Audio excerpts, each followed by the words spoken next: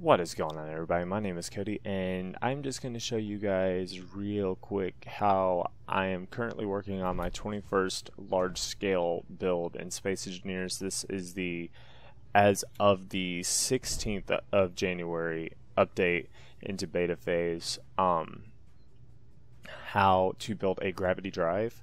I'm not going to show you exactly how to build a gravity drive but I'm going to show you guys a gravity drive. Now, we're already moving forward just a little bit, but um, what I'm going to show you guys is uh, not really all that much into it, but uh, for now, let's see, I just want to get all that out of the way. Anyway, what you have to do when you get a gravity drive to move is you have to turn off your inertial dampeners, but since I've already done that, I'm just going to show you guys how this works. Um, that's the control panel. Uh, there's going to be one from the bridge as well, but I haven't finished the bridge. Anyway, all these overhead lights, they're just for ambient ambiance, if you were. So we're going to go ahead and focus on these parts right here. Now, most gravity drives that I've built and have seen are just stationary. They look kind of like how a railgun would be on a stationary place, like a space station, as an example.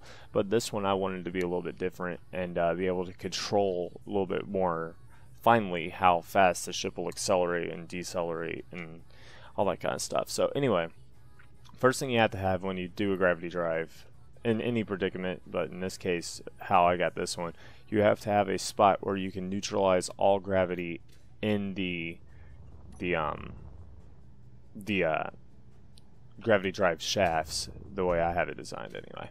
So anyway, it's gonna be a pain in the ass uh, navigating this stuff while it's flying. Anyway, so this uh, this particular gravity generator and this one are elevated to where they'll be in the exact center of the drive shafts.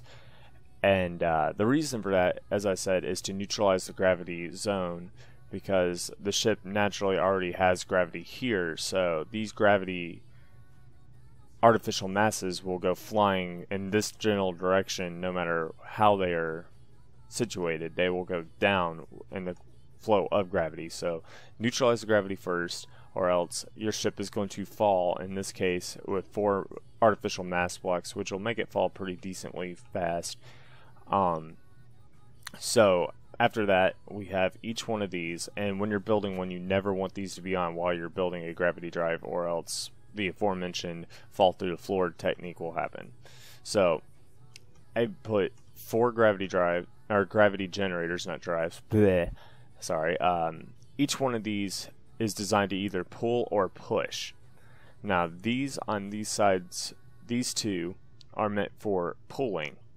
These are meant for pushing. So this one is going to be yanking on that one and this one's going to be pushing on that one. So every time we have a rotation along the axis, it will connect. So this one pushes, this one pulls, push, pull, push, pull. And uh, it's doubled on this side. So we'll have four four separate instances of force pushing or repelling each other or pulling and repelling. So this technique is fairly similar to how a repulsion field generator will act when you have a ship. So these right here, when they connect to each other, they actually cancel each other out as long as they hit each other. So that's why I have them spinning as when each gravity generator comes into contact with each other, they don't affect each other, but they'll affect their uh, their mass block. So, in this exact spot here, the ship does not have gravity when the drive is going. Right here is always going to be neutral, and then as we get into this band here, we'll always be in some form of push or repel. Now you can reverse the polarity of these to get the ship to go in reverse, but it's a colossal pain in the butt to do, so I don't really recommend doing it.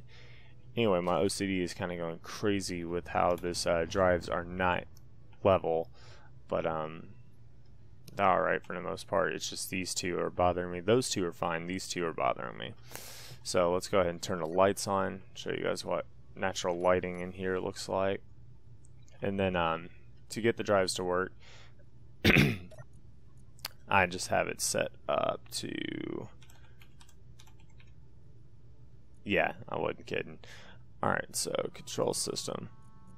To make make sense of it, we have just regular activity lights to come on when the drives are spinning. Um, the artificial mass cells, obviously, the rotaries, drivers, the actual drive shafts, and then the uh, gravity zero zone. So whenever this comes online, as you can see I have them set to rotate opposed to each other. Again, that's more for dramatic effect, but right here we're actually in a... Damn it, son. So, if the drive was actually more perfected, it would be neutralized. And to fix that, Come on. It's hard as balls to do this when the ship is moving. Okay. So, 0G. We want to neutralize this a little teeny tiny bit. So we'll go ahead and uh, we'll just say 10. Nah, I should be able to safely walk in here.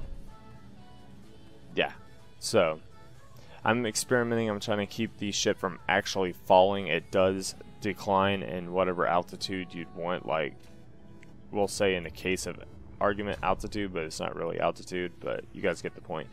Anyway, so as this speeds up, the ship will move forward faster. I can adjust the speed in any way I want. Right now, I'm working on dialing it into where it slowly starts going up to speed more to where it's not gonna like have knee jerk reaction because I don't like that for the sake of immersion.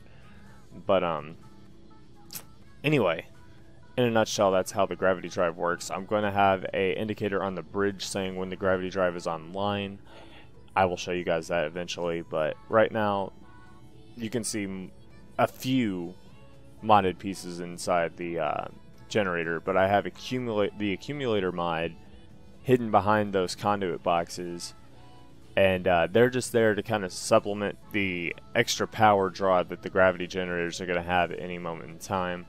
Now, the pro to having a gravity drive is that it's a very cheap way to get forward momentum through space. It doesn't burn hydrogen, it doesn't really require an ion thruster.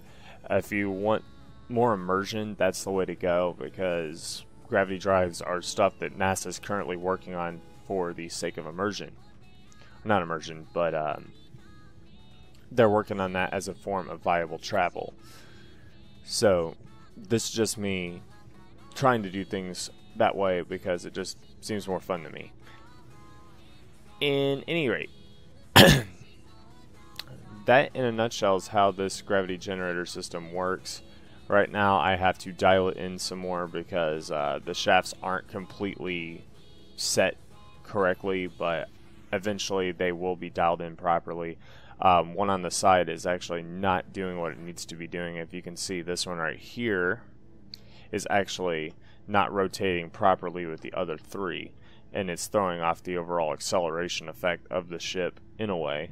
It's not too huge of a deal, but I'm OCD as hell, and it's bothering me to like you wouldn't believe.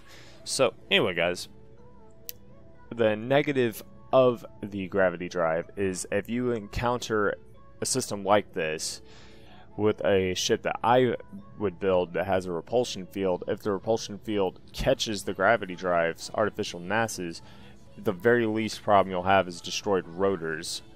And if it's stationary and they can't be thrown off of their axles, then the ship is going to go flying with opposing force to the other ship, which makes more sense because everything generates gravity, so a gravity generator is going to affect the mass of anything. So, again, that's even more immersion. Now, keep in mind that having a system like this is very taxing on a computer system, so bear in mind that. And uh, anyway, I'm going to power this down now. Try to get it to, you know, not goof up on me. Because now you see it's actually being a real smartass to me. But yeah, so in a nutshell, guys, uh, that is how you build a gravity drive. Um, if this video gets enough likes on it and enough comments and such, I will show you guys how to build it. And uh, when I finish building the master model, then you guys will be able to see how to do it and not have to worry about trial and error. But uh, yeah, so if you like this video, please hit the like button. If you dislike the video, hit the dislike button. If you care about me so much because it helps me out, hit the subscribe button and click on the little bell that's up there when you hit the subscribe button. That way you can see my future videos. And uh, yeah, I will see you guys in the next video. So you guys have a good one.